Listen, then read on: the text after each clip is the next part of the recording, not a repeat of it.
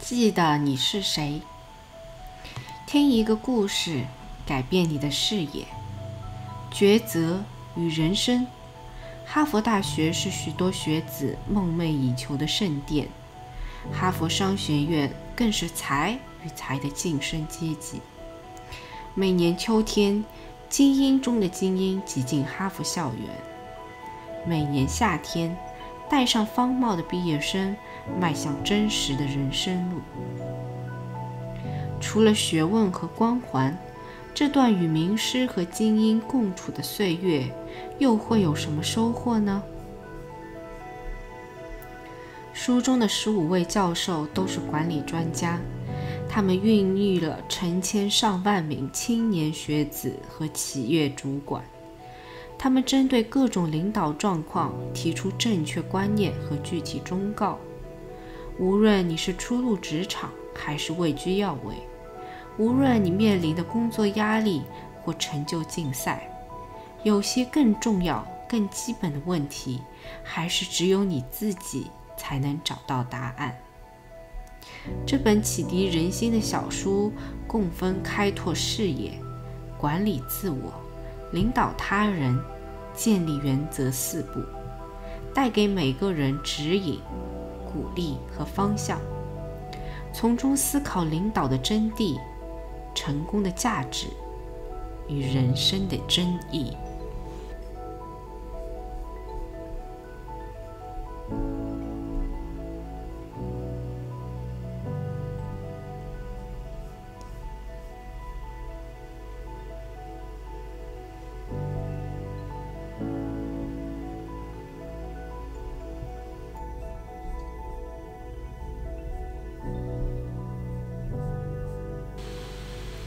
第三章，你就是你，区别生活和工作中的你。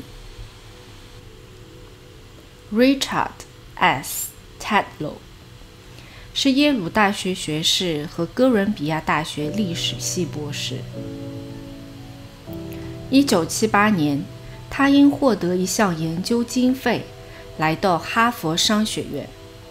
并于第二年成为哈佛商学院的教师，主要教授一年级的市场营销课。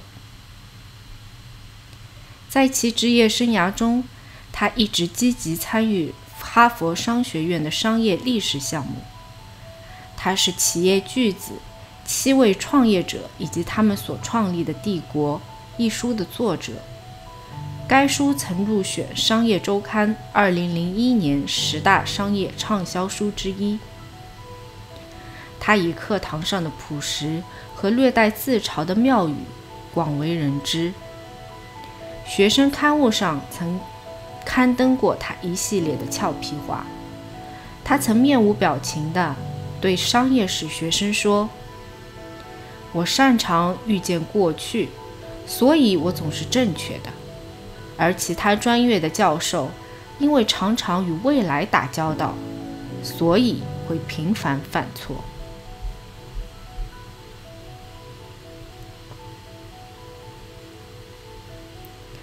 当我开始在哈佛商学院任教时，我们这些初出茅庐、刚刚开始职业生涯的初级教师，常常去那些有经验的老师们的课堂上观摩。我们仔细观察他们每个人的教学风格，并往往会评价两个方面的问题：第一，他是否会问学生具体问题，并期待得到简明的答案；或者他的问题是否很模糊，让学生们用当时流行的隐晦来说：“神游天地。”得出离题万里的答案呢？第二，他愿意在多大程度上向学生们展示自我？你也许听了某些教授整个学期的课，但是对他们本人却一无所知；而有些教授则不一样，他们会充分利用自我，将自己的个性、奇怪的习惯。以及幽默感带进课堂。我那时还在形成自己的教学风格，对于第二点有些头痛。我很想投入和参与，想尽可能多的把自己的多方面展示给我的学生，但是又很犹豫，是否要在那么多完全陌生的学生面前毫无遮掩地展示自己的生活。我希望能够寻求到某种平衡，找到正确的立足点。我当时很年轻，也没什么职业经历。然而误打误撞，一次午餐时，我坐到了已故的 Anthony Athos 教授身旁。他德高望重，拥有终身教授席位。Anthony 的教学技巧十分精湛。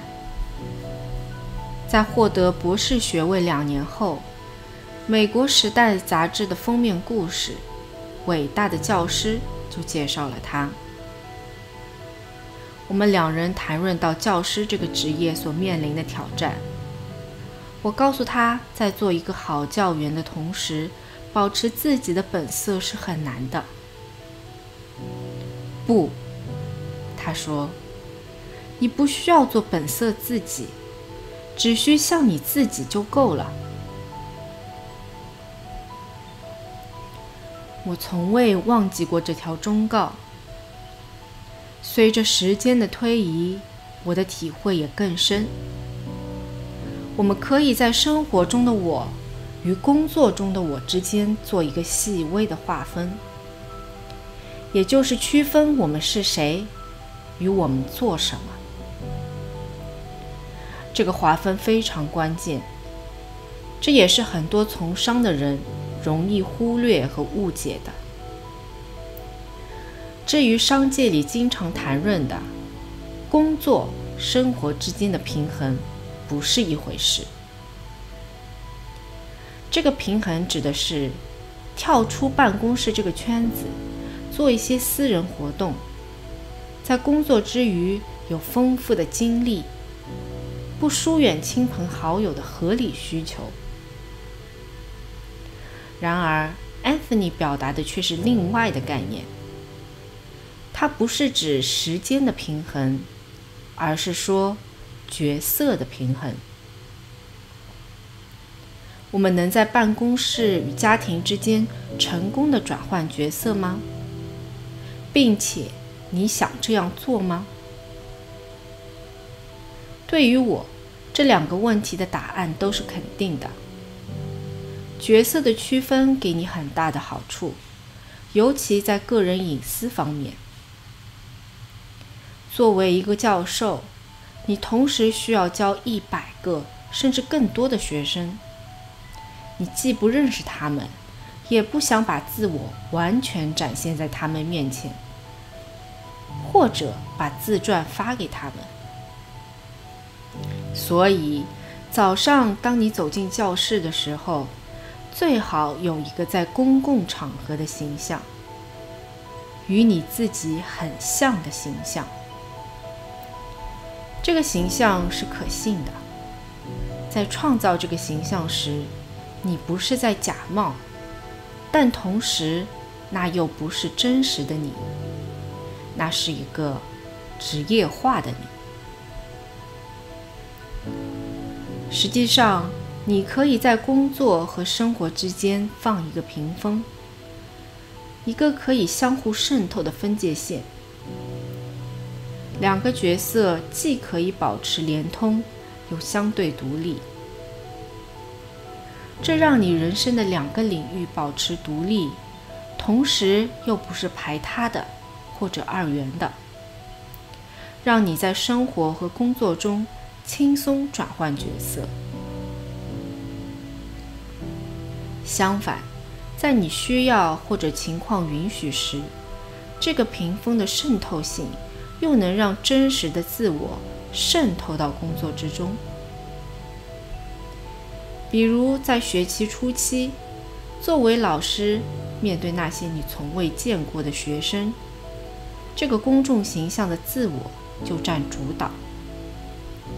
但是随着学期渐渐过去，你与学生的联系加深，真正的你逐渐展现，而教师的角色逐渐淡化。在需要的时候，这个屏风将个人隐私保护在合理的维度内，同时还有其他好处。不仅在教学中，在其他职业中也是如此。建立一个类似自我的公众角色，有助于抵抗那些在职业生涯中必然会遇到的冷枪案件。使其对真正的我伤害最小化。工作是艰难的，而且往往超出你所能控制的范围。正如我父亲，一个在商界摸爬滚打四十五载的人所言：“高处不胜寒。”在那个竞技台上，有很多潜在的杀手。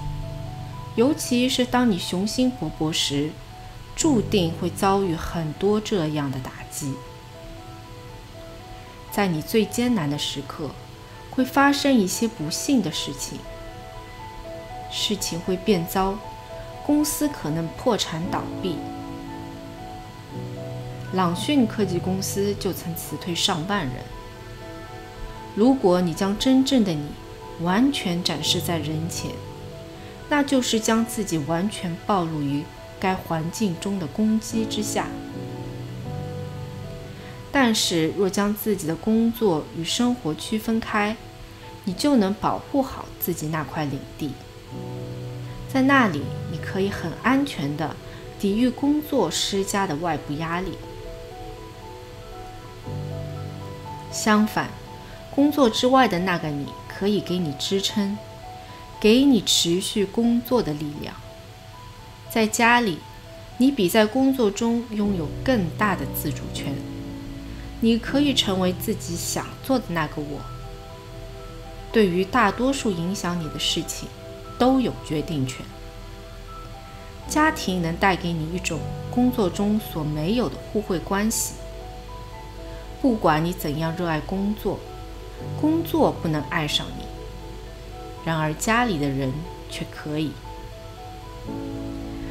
因此你的私人生活可以成为工作之外的一个安乐窝，给你控制权，给你回报。它能平衡你职业上的起起落落，但前提是它得到保护，并不受干扰。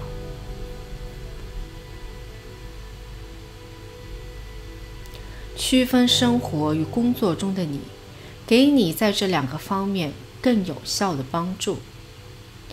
你可以发展对于职业至关重要，但对于个人却无关紧要的技能。反过来也一样。几年前，我对二十世纪的企业家们进行了一项研究，比如 Henry Ford、Andrew Carnegie。Sam Walden，我研究他们的职业生涯时，发现了一些共同特点，一些帮助他们取得巨大成功的重要性格特征。比如，他们每个人都喜欢用一个很醒目、清楚的标语浓缩自己品牌的价值。福特这样描述他的 T 型车：“他带着你到那里去，又把你带回来。”柯达的创始人 George Eastman 说道：“你只需按一下按钮，其余的我们来做。”简洁明了，对于这些企业家而言是无价之宝。然而，这些特性在你的私人生活中却是毫无用处的，因为那些与商业纯粹是两码事。一条对客户有极强吸引力的标语，对于与个人的交流不会有什么帮助。与家人和朋友的亲密关系是细微的、感性的、敏感的。这种关系中的交流深度完全不同于商业交流。这仅仅是众多例子之一。你在一个领域内所需的技巧和态度，不能简单移植到另一个领域。因此，考虑到这两个人生舞台的区别，针对他们量体裁衣，运用不同的演技，是大有裨益的。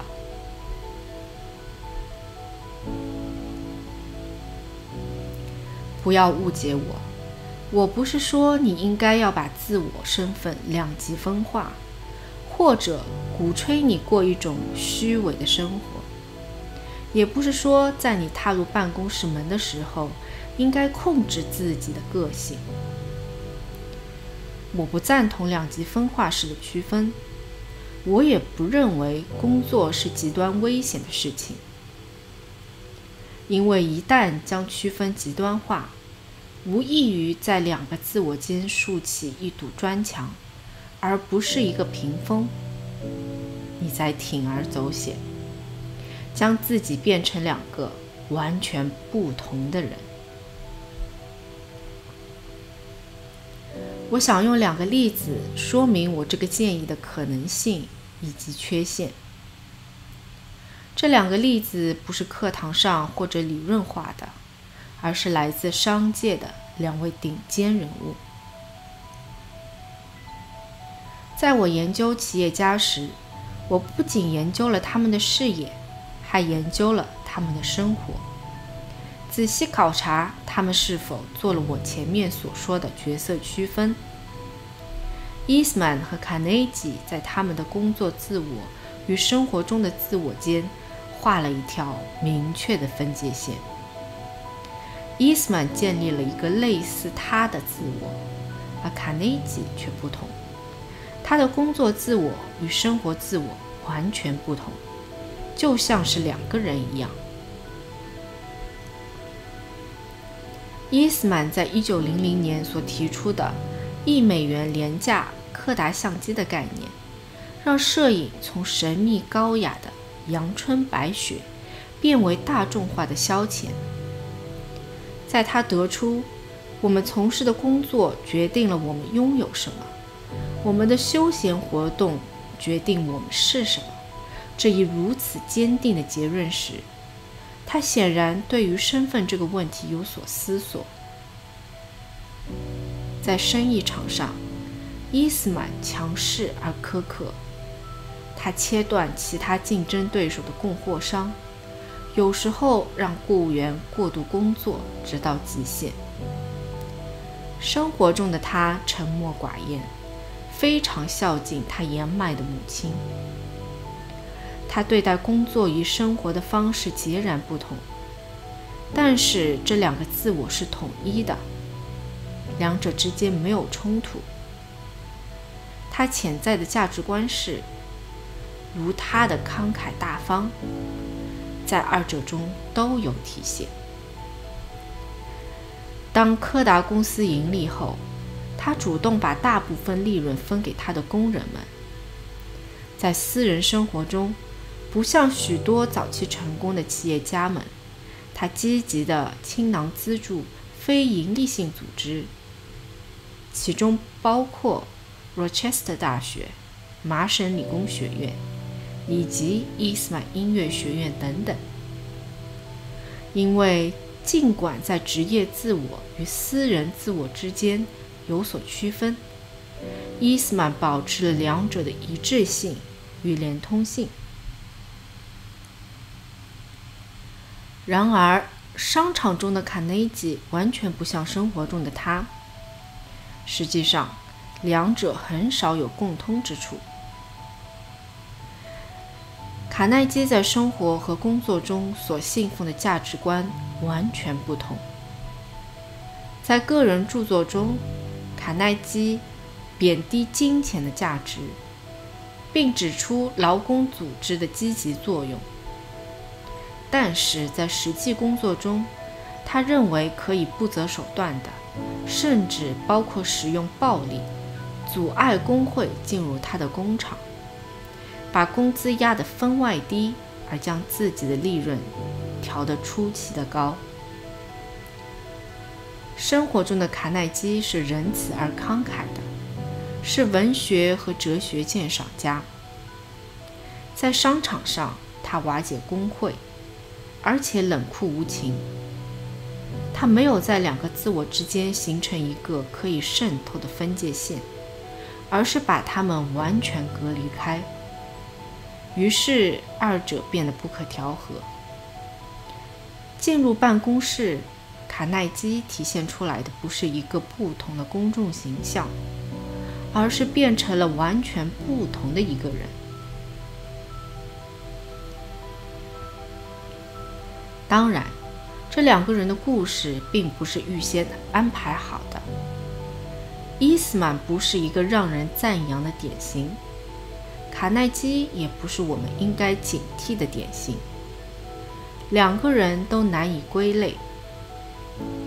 卡耐基或许是个冷酷无情的商人，但是最终却成为了二十世纪最伟大和最慷慨的慈善家。伊斯曼在休闲时间所做的事情，也许决定了他的为人，但是他却少有时间去享受。他说：“一直到我四十岁时，我都不会微笑。”但是这两个故事却提供了这样一个对比：一个很好的区分了工作与生活，另一个却区分得很差。同样重要的是，这些故事证明了。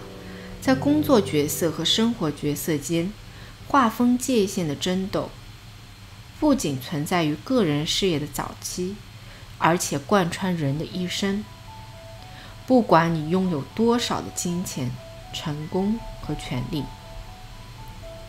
不管是在你刚刚开始工作的头几年，还是在接近退休的时候，把生活中的你与工作中的你区分开来。是一件很难平衡的事情，但却值得我们去努力。当一位妇女告诉 George Eastman 说她非常崇拜他在商业交易中的强硬时，他这样回答她：“在这个世界上，人必须强硬，但是人也必须使自己心灵的某一部分。”保持些许温柔。